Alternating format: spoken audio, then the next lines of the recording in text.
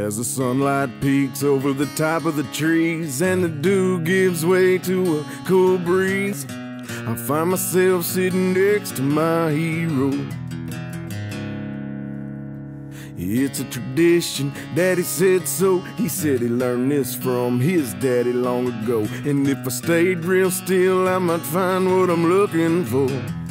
And I did. I found out what life's about. When I was sitting I realized I was hunting more than D when it was just him and me. Hell yeah, had a ball, spending time with family. But the thrill of the kill ain't nothing compared to these memories. Now as the sunlight peeks over the top of them trees and that dew gives way to that cool breeze, I find myself sitting next to my hero.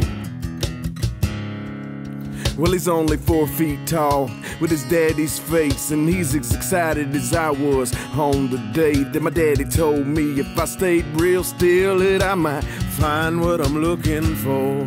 I found out what life's about when I was sitting up in that tree. I realized